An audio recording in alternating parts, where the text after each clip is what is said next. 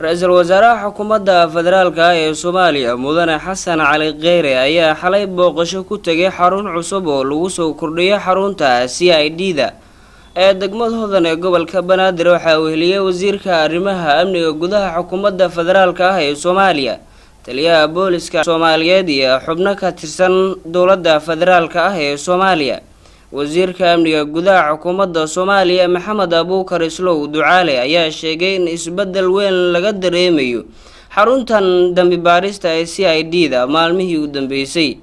Waxa uu sidoo kale sheegay in wasaaradda amniga iyo taliyaha booliska ay ka shaqeeyeen sidii loo fulin lahaa amarka ra'iisul wasaaraha xukuumadda federaalka ee soomaaliya oo ahaa in isbeddel lagu sameeyo xarumaha laamaha amniga dowladda soomaaliya. Waxaa marka hore dhawaan mahadceliyo taliyaha booliiska soomaaliyeed iyo ku-xigeenkiisa iyo genaraal bishaar xaqiiqda waa ujeedaan waxay qabteen sadar muuqda su'aal ka dhan waa si fiicna ula socotaan.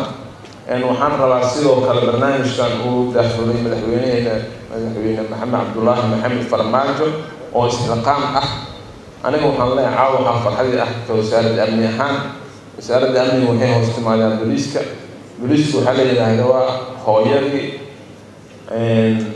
ciidamada kala duwan qaybahooda kala duwan. Waa hooyada ciidamada kale qaybahooda kala duwan.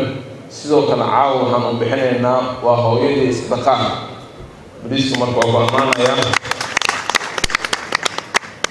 aada iyo aada ugu ammaanayaa annagoo ay farxadgelinaysaa ka wasaarad ahaan maadaama ay ka tirsantaha wasaaradda amniga jenaraal waa ku mahadcelinaa waxaan rabaa hortiin inaan ka ballan qaado jenaraal bishaar in xaflad kale aan ku siin doono abaalmarin. Hadduu ilaahay dala jenaraal bishaar oo ku mahadsantaha shaqada qabatay xaqiiqda taariikh jenaraal bishaar haddaad dib u sidoo kale wuxuu dhisay gaadiidka taliska gaadiidka ciidanka soomaaliyeed ayuu dhisay asaga gacantiisa ku daactiray maantana meel fiican uu soo gaarsiiyey? Haddana halkaan uu lahaa. Wasiirka la'aantiisna ama taliyaha booliiskan wax ma qaban lahayn ayagana waa ammaanayaa warkayga waxaan rabaa inaan ku soo gabagabeeyo soomaali hadday isku tashato wax badan qabsan karnaa markaan isku tashano aan gacmahaas qabsano waanu ku farsanaya waa ku ammaanaya taliya adiga iyo taliya xogeenka inay ku timid howl soomaali iyada ay samaysatay si isxilqaanna lagu sameeyey. Tan oo ka tarjumaysa dhaqangalka barnaamijkii isxilqaan oo madaxweynuhu horay u cilaamiyey maantana aan aragno mirihiisa.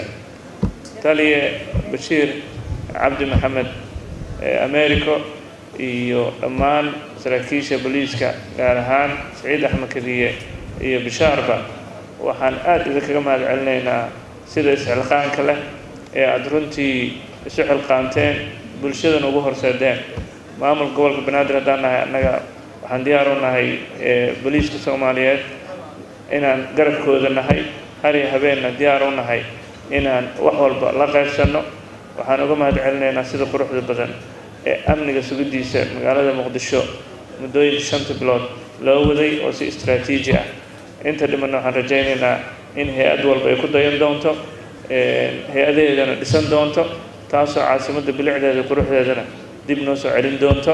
Waxaan ka codsanaynaa dhammaan wasaaradaha dowladda xarumahoodii oo runtii u baahan dayactir inay sidaan oo kale iska xilqaamaan oo ay ka bilaabaan wasaaraddii amniga iyo tii qorsheynta wasiirada.